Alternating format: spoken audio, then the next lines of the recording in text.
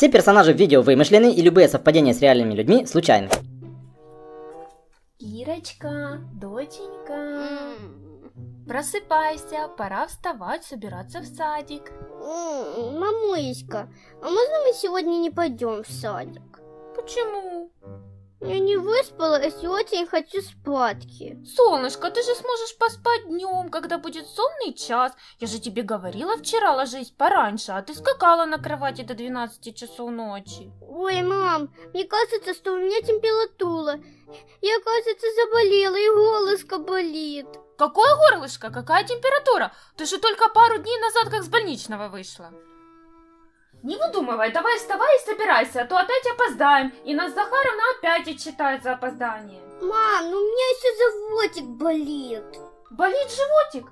Значит, сейчас пойдем и клизмочку тебе сделаем. Ой-ой, кажется, уже животик не болит. Вот так-то лучше. Что, уже встаешь? Ладно, встаю. А может быть, мы все-таки сегодня не пойдем? Что, уже голова разболелась? Нет, меня там обязают. Кто?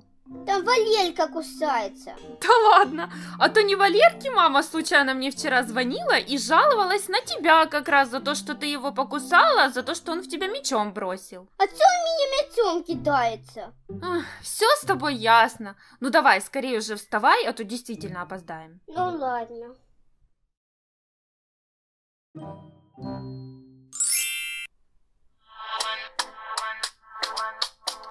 Уже вставать рано. Еще пять минут можно поспать.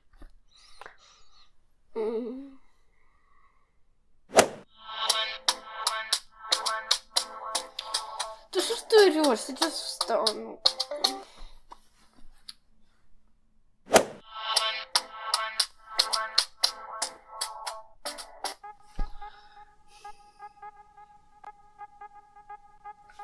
Кира, доброе утро.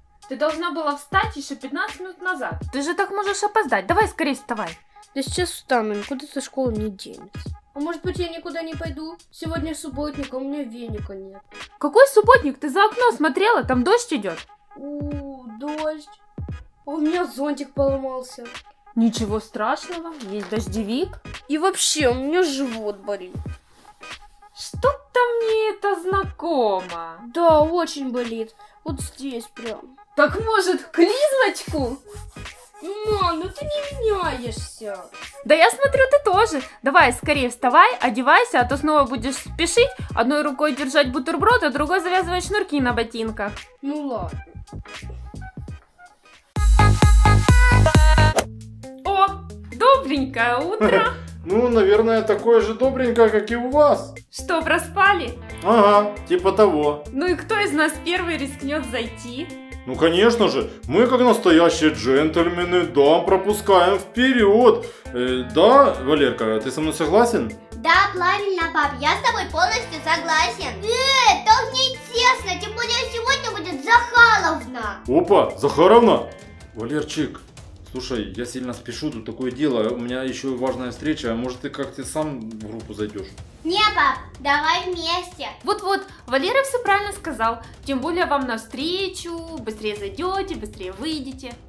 Так, так, так, а кто это здесь явился, не запылился? Что, проспали? Или в лифте застряли? Только не говорите, что во всем виноваты эти милые ангелочки. Нет, я вообще папу будил, а то он не хотел вставать. А моя мама долго классилась. Все с вами ясно и понятно. Вы что, не знаете, что для маленьких детей очень важно соблюдение режима дня? Вот все детки, например, уже позавтракали, а ваши останутся голодными. На будущее постарайтесь больше не опаздывать. Да, да, Ага, мы больше так хорошо. не будем. Привет, Кира. Привет, Валерка.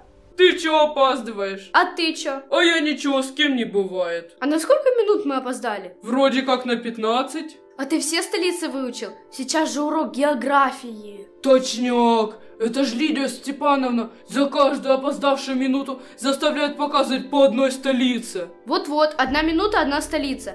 Это получается, нам каждому по 15 стран? Это не так уж и много. Думаю, справимся. Ну тогда пошли. О, явились. Не запылились. Чего опоздали? Только не говорите, что вы бабушку через дорогу переводили. Не, Да если честно, то дедушку. А, Ну хорошо. Кто из вас первый покажет столицы? давайте я. Там всего лишь 15 столиц. Да, мы опоздали всего на 15 минут. Да, так и есть. Опоздали на 15 минут. Но так как вы опоздали вдвоем, 15 умножаем на 2, получаем 30 столиц. Ну, вроде бы правильно. 30 столиц на двоих. Ну да, все правильно. Правильно, но по 30 столиц каждому. Кирочка, деточка, все детки уже давно спят и десятый сон видят, а ты все крутишься, вертишься, как принцесса на горошине. То тебе одеялка холодная, то подушечка твердая, то Валерка громко сопит. А я спать не хочу, я пить хочу. Ну ладно, иди попей водички. Кира, ты снова не спишь? А я теперь в туалет хочу. Ну хорошо, иди в туалет. Кира, да что ж такое? Скоро уже все просыпаться, а ты еще даже не спала. А я опять в туалет хочу. Ты же 10 минут назад ходила в туалет. А я еще раз хочу. То я ходила по маленькому, а сейчас по большому. Можешь уже не ложиться. Как математик Пифагор достиг больших успехов. Одна из самых известных геометрических теорем – теорема Пифагора. Ему приписывают открытие и доказательства теоремы создания таблицы Пифагора. Площадь квадрата, построенного на гипотенузе прямоугольного треугольника, равна сумме площадей квадратов, построенных на его катетах. Наше время теорема звучит так, подразумевая не только площади, но и длины сторон прямоугольного треугольника. В прямом треугольнике квадрат гипотенузы равен сумме квадратов катетов. c квадрат равно а квадрат плюс b квадрат. Кира, и как тебе там спится на парте? Подушку принести? Ой-ой, кто спит? Э, Я не сплю, я, я сижу усваиваю теорему. Теорему? И кто же ее автор? Теорема П... П... П... Пушкина. Ну, конечно, был такой важнейший, известнейший математик Александр Сергеевич Пушкин, но, правда, он автор других немаловажных известнейших работ. А что не он? Ну я помню, что что-то на П. П... П... П... Ой, точно, вспомнила. Пьер Карден?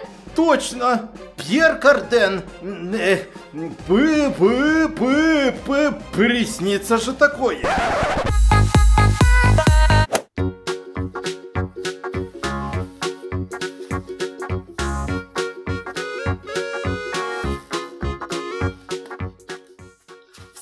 Последний ребеночек одет. Сейчас я оденусь и пойдем на улицу погуляем на площадочке. Ой, Что, Дашенька, что случилось? а я в туалет хочу. Туалет? Да. Вот умничка Дашенька, что вовремя сказала. Ну ничего, сейчас тебя детки подождут, одеты в курточки, в ботиночки, вспотеют. Я тебя раздену, свожу в туалетик, потом снова одену, и мы наконец-то попадем на уличку. Вот видите, какая я умничка. Вовремя попросилась. А могла бы попроситься и на площадке. Ага. Раз, два, три, закончили. Итак, по стойке смирно, раз, два. Даша, я не понял, что это за стойка смирно? Михалыч, а можно выйти в туалет? Какой туалет? А теперь перемена для чего нужна была? На перемене я переодевалась, и тогда мне не хотелось. Хе-хе, ну ничего, сейчас мы это поправим. Для того, чтобы не хотелось в туалет, нужно хорошенечко пропотеть. Правильно? Ну давайте, пять кругов вокруг стадиона. Михалыч, ну я по большому, а не по маленькому. Хе, по-большому говоришь?